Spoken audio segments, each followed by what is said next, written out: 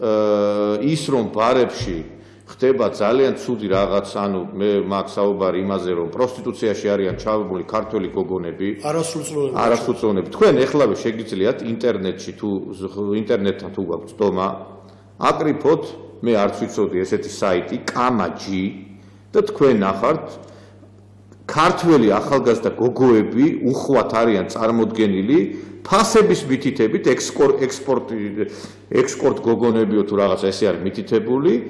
პროსტიტუციის ლეგალიზებაზე რო ვლაპარაკობთ? ლეგალიზებულია. შედით ამ საიტზე და ნახავთ. ქართველი გოგონები სახეებსაც არ მალავენ ფასები მითითებული ყველაფერი და ეს საიტերը კიდე სხვა საიტებიც არის. და აი ამ ღამის კლუბებში და ღამის ბარებში არ უშვებენ ამიტომაც ქართველ ახალგაზრდებს იმიტომ რომ როდესაც ეხლა ქართველი კაცი დაინახავს იქ ქართველი გოგოები არასრულწლოვნები რასაკეთებენ ხო ექნება რეაქცია და ამიტომაც არის.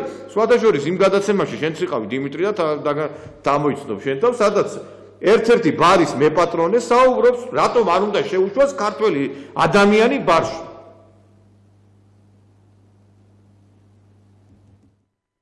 მომთხოვოს რომ შევუშვა ადამიანები რომლებსაც არ ვუშვებ ჩემ კლუბში.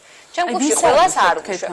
არ ვუშვებ ძალიან ხშირ შემთხვევაში ესენი არიან ქართველი მამაკაცები, რომლებიც არიან აგრესიულები, ნასვამები, არიან კონფლიქტურები, არიან ჰომოფობები, არიან ქსენოფობები და მათი ადგილი ჩემ კლუბში არ არის. ჩემი კლუბი არის დაცლილი თავიდან ბოლომდე ყველანაირი ესეთი მსგავსი ადამიანებისგან, თუმცა უცხოელები ძალიან მარტივად შემოდიან.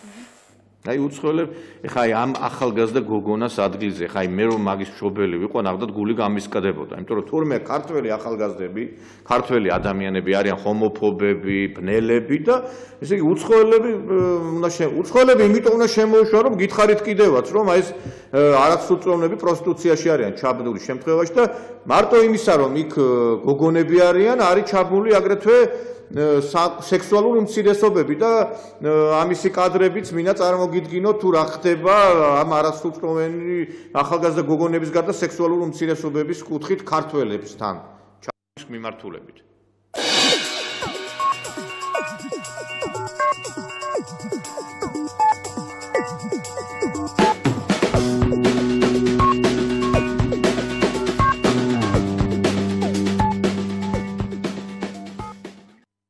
და ეხა ის ლევანი საუბრობდა რომ წულუკიანი ესწრებოდაო კონფერენციას მიგრანტებთან დაკავშირებით და ჩვენ რომელ ქვეყანასაც უამრავი ათასობით ტოლვილი ყავს და არა თან სამუშაო ადგილები არ არის ქვეყანაში და ხალხი გარბის მაგალითად დასავლეთ საქართველოში მონებად გადადიან თურქეთში გურულები მეგრელები რომ ჩაისაკრეფა და წარმოედგინეთ. ხალბატონი თეა ახლად არჩეული იუსტიციის მინისტრი საუბრობს რომ ჩვენო რა ვქთოთ აბა ისე ხო არ დავტოვებთ ამ ხალხსო მთავრობა მიიღებს ინფორმირებულ გადაწყვეტილებას.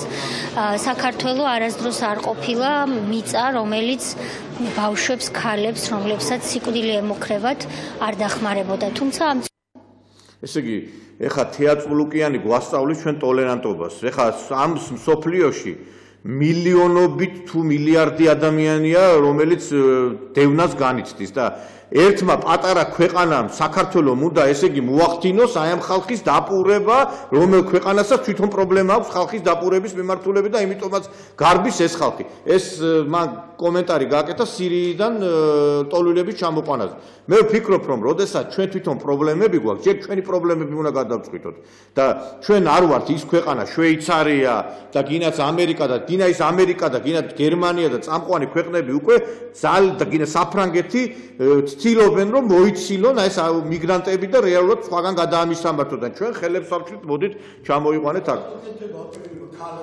ხო